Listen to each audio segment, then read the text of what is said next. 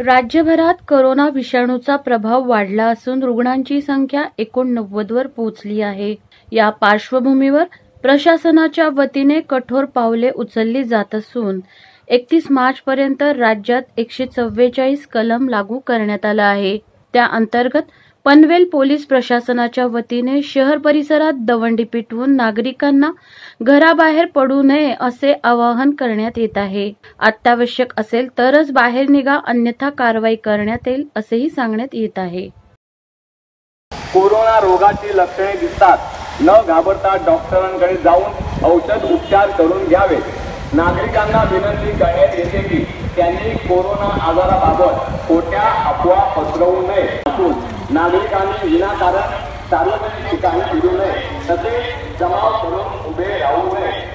पनवेल आणि नवी मुंबईच्या ताज्या घडामोडींसाठी मल्हार टीव्ही न्यूज सबस्क्राईब करा आणि बेल आयकॉन दाबून रहा अपडेट.